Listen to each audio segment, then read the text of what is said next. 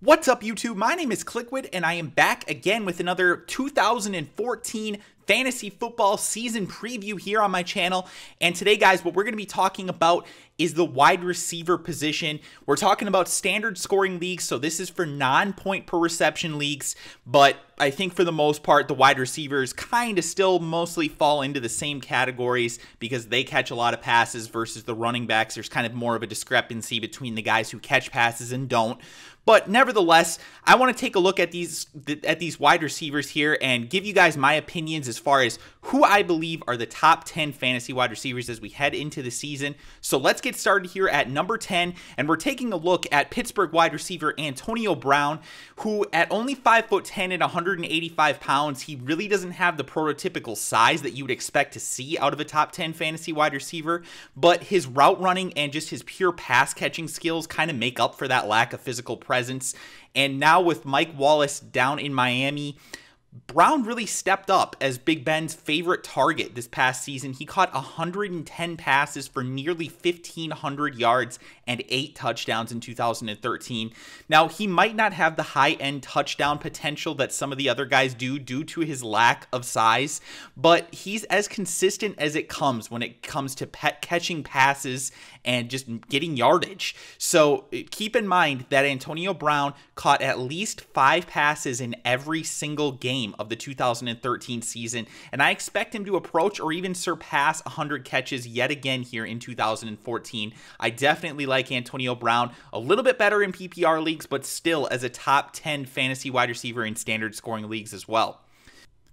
Moving forward to number nine, and we have Tampa Bay wide receiver Vincent Jackson, who is coming off of his third straight season of over a thousand yards and the fifth time in six seasons that he's eclipsed that total. The only time that Vincent Jackson hasn't hit a thousand yards since 2008 was when he missed 11 games back in 2010 as a member of the San Diego Chargers. Jackson has six foot five, 230 pounds of frame, and that elite combination of size and speed. It's it's just something that you don't really come across very often as a wide receiver. But what's kind of interesting is that even though he has that size, he really hasn't been able to kind of transition that into what we'd expect out of a guy with that type of type of frame. He hasn't scored double digit touchdowns in any season of his career. And I think that's really the only thing that holds him back from being a top 5 fantasy wide receiver. Now on the bright side, the quarterback change to Josh McCown should be an improvement for Jackson and you know, we saw that Josh McCown can throw the ball up and give his receivers the opportunity to make plays on the ball, just like he did in Chicago with that physical combination of Brandon Marshall and Alshon Jeffery. I see a lot of that in Vincent Jackson and the new uh, wide receiver that they added this past offseason in rookie wide receiver Mike Evans. I think that that's actually going to help Jackson a little bit. A lot of people are thinking that Mike Evans might pull away looks from Vincent Jackson.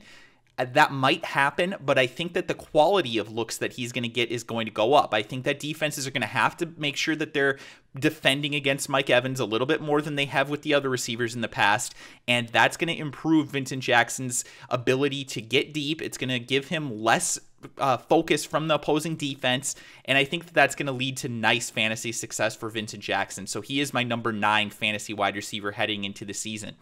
Now, number eight, we have Chicago Bears wide receiver Alshon Jeffery, who had a pretty mediocre rookie season that was scarred with injuries, and it was just overall pretty disappointing.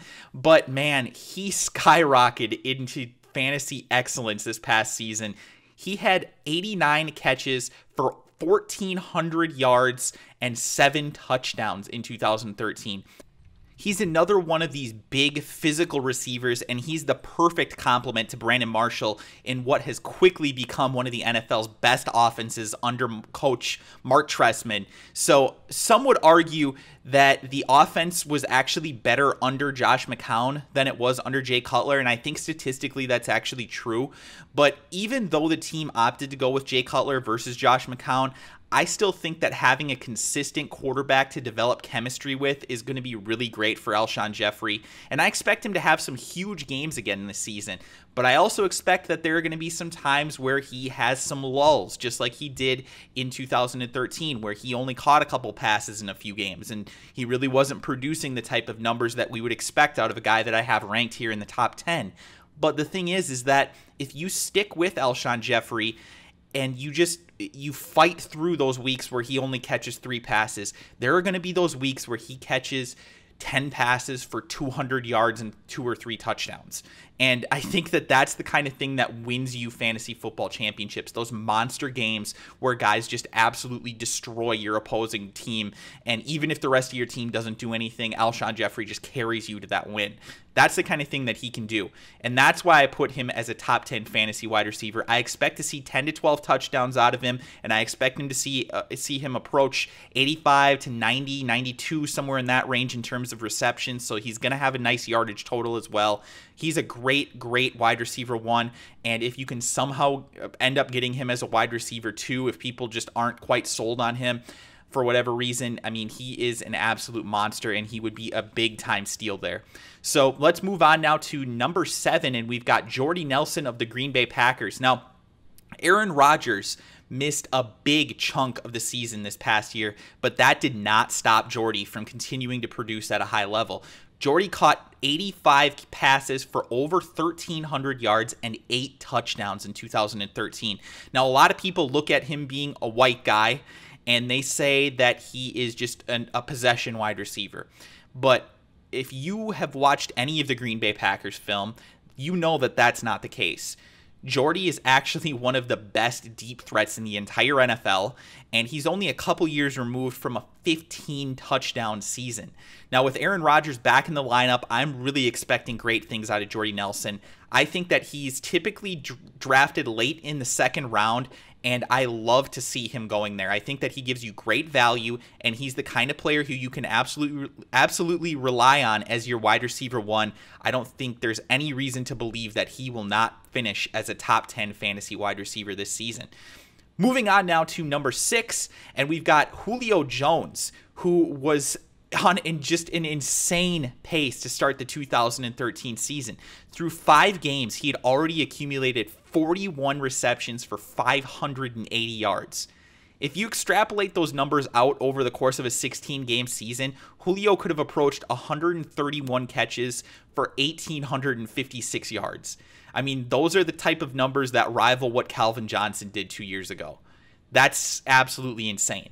But the thing is, is that he did get hurt he underwent season ending foot surgery. Now, all reports are that Julio's back and he's ready to produce, but there are always going to be concerns with him at this point. He's had to fight off injuries in the past. He missed 11 total games this past year, and it's just one of those things where the concern is there. In the back of our heads, it's always just sitting there kind of gnawing at us and saying, yeah, but he, he has the talent, but what if he doesn't play every game? He's not a, an injury risk like a Rob Gronkowski or something like that, but still, there's concerns to be had there, and they're legitimate. But with that being said, the high end potential that Julio gives you makes him absolutely worth a second round pick, in my opinion. I, I think that if you're looking for a guy who can potentially be the the top scoring wide receiver at the at the position at the end of the season, outside of the top five I think that it's Julio Jones, and that's why I have him ranked at number six. I think that he is definitely going to be uh, returning to fantasy prominence this season. And with Roddy White being healthy as well, I really like that every he's going to have a great opportunity every single week to produce big numbers. So I, I definitely like to see that. Number five, we have Brandon Marshall of the Chicago Bears. This is the second Chicago Bear on this list, and there's a reason for it it's amazing to think that a 100 catch, 1300 yard, 12 touchdown season was actually a step back for Brandon Marshall from what he did in 2012. But that's the reality. Now, I'm not trying to say that Brandon Marshall's falling off by any means, or I'm not trying to hate on him or anything. What I'm saying is that this guy is putting up incredible numbers in Chicago. The chemistry that he has with Jay Cutler is very, very obvious. And even with Jeffery emerging as a big time weapon as well, Marshall still remains the top dog in Chicago's offense. He's still going to get the majority of the looks, and he's still going to be the top guy. So I think that there's a lot of concern that Alshon Jeffery is going to somehow supplant him as the top guy, but I really don't worry about that. I would not be surprised to see Marshall up here again with over 100 catches and double digit touchdowns, which would once again make him a top five fantasy wide receiver. That's why I've got him ranked here at number five. Next on the list, we have AJ Green of the Cincinnati Bengals. And after his third straight season of over a 1,000 yards, and he's only been in the league for three years, I think it's fairly safe to assume that AJ Green is one of the elite class of wide receivers in the NFL today.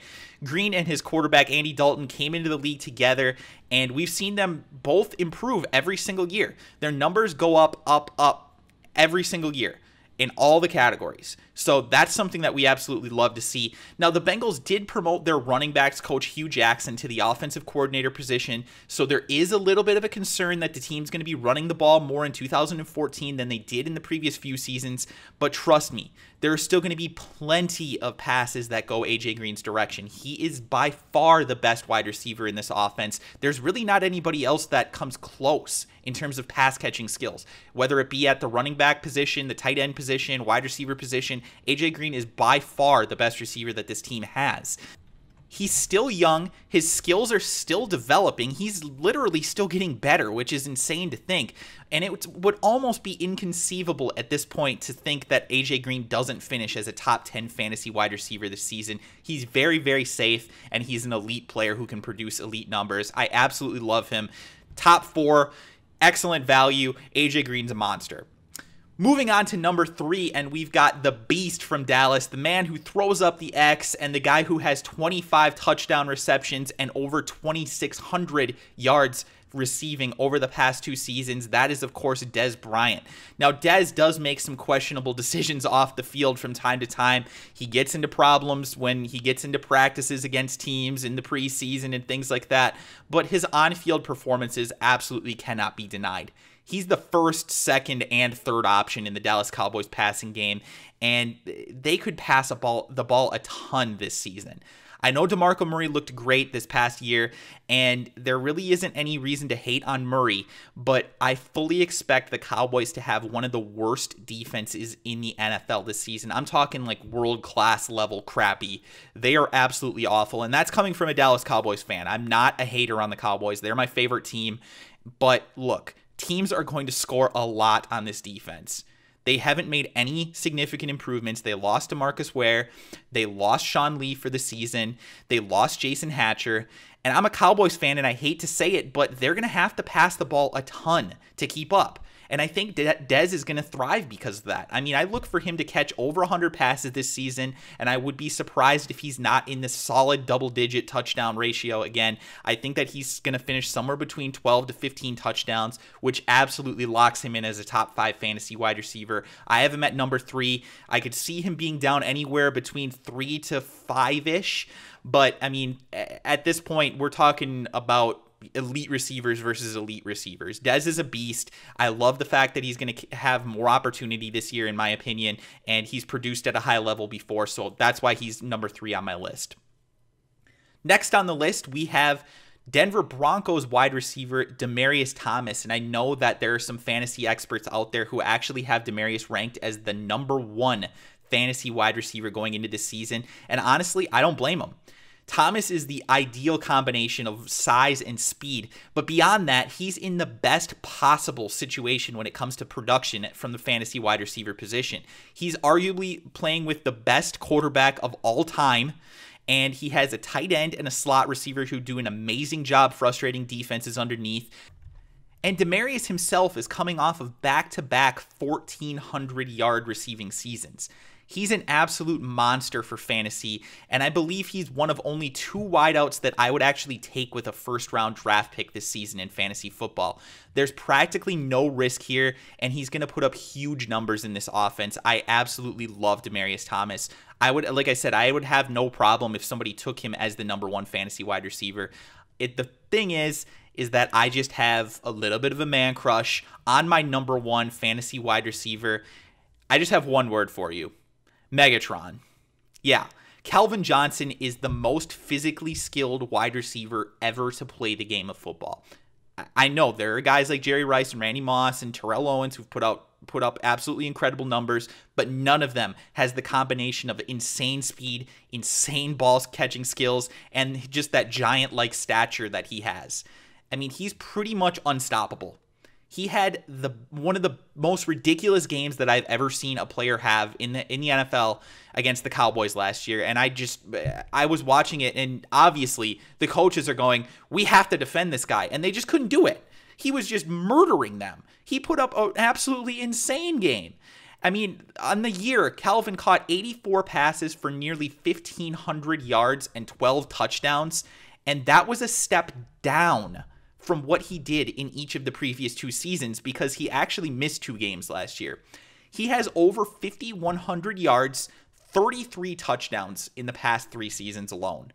That's uh, those numbers are just mind-boggling. Detroit's offense might not be what Denver's is in terms of efficiency, but Calvin makes up for it with that pure raw just nasty ability. And the thing is is that although I understand that people love Demaryius Thomas, and quite frankly, I wouldn't be surprised to see Thomas edge out Calvin as the top fantasy wide receiver this year. Uh, the thing is, is Calvin just has that kind of talent that I guess is just it's too pa- too much to pass up at my in my opinion. I mean, Matt Stafford is going to throw him the ball time and time and time again, just like he always does. Calvin's going to produce amazing numbers, just like he always does. If you're looking to produce elite numbers from the fantasy wide receiver position and you do not want to have much risk, Calvin Johnson is your guy. I have him rated as my number five overall player, and he's the top non running back on my board. So, I, I mean, that pretty much says it all. I think that he is the best fantasy wide receiver of this generation, and I don't see any reason why he is not a top five overall fantasy player. I like him better than Eddie Lacy. The only guys I have rated ahead of him overall are Matt Forte, Jamaal Charles, LeSean McCoy, and Adrian Peterson.